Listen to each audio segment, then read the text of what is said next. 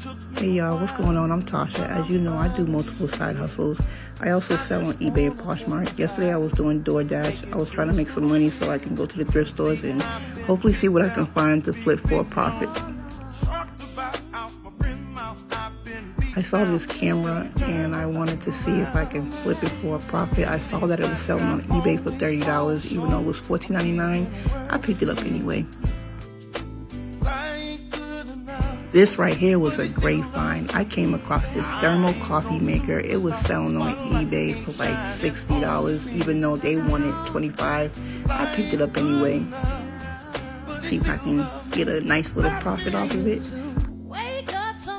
So as I was thrifting, I had a DoorDash order. I kept DoorDash on, so I had to run to the checkout.